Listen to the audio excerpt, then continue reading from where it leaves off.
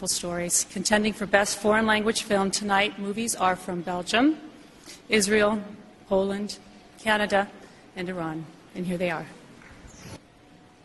The separation. Iran, Oscar Faradi.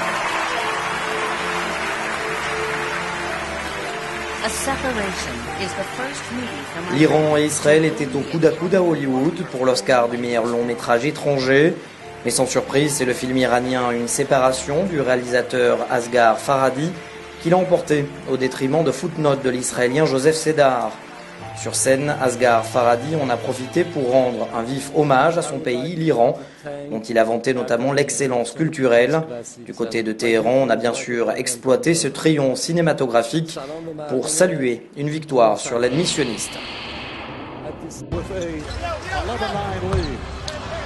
Howard gunning from deep. Whoa, might as well. I mean, this is the only chance you get if you're Bynum or Howard to shoot a three. Retenez bien son nom, Shaker, c'est la nouvelle application qui s'apprête à faire fureur parmi les fans de NBA, le prestigieux championnat de basket américain.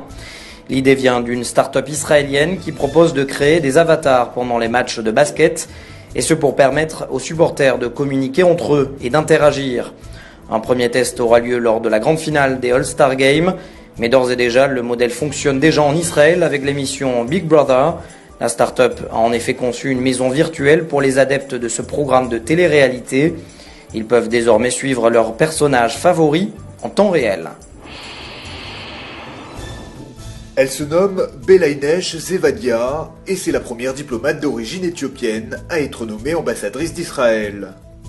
Sur recommandation personnelle du chef de la diplomatie Avigdor Lieberman, la commission des nominations du ministère des Affaires étrangères a nommé mardi cette femme de 43 ans au poste d'ambassadrice d'Israël à Addis Abeba. La diplomate a déjà occupé des postes au consulat de Chicago, Texas, et elle est aussi titulaire d'une maîtrise en études africaines et en relations internationales.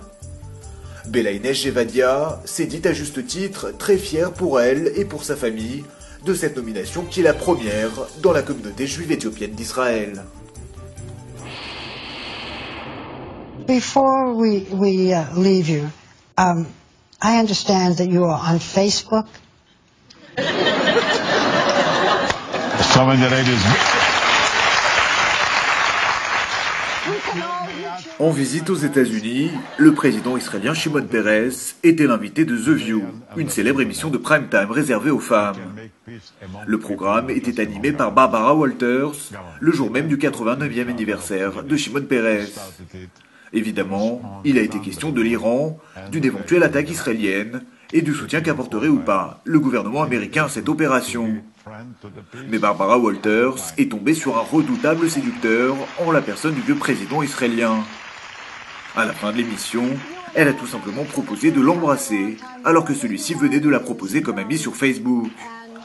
Contre toute attente, ou sans surprise diront certains, Shimon Peres ne s'est pas fait prier. Israël passe au vert.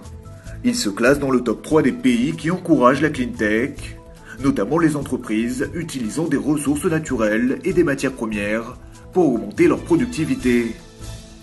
Sur 38 pays désignés par l'index de l'innovation clean tech version 2012, Israël se classe en seconde position, juste derrière le Danemark, mais devant la Finlande, la Suède et les États-Unis.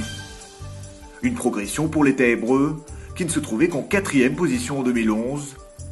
Un classement qui s'opère selon 15 critères prédéfinis, en particulier le degré de création et de commercialisation des startups de clean tech dans chaque pays.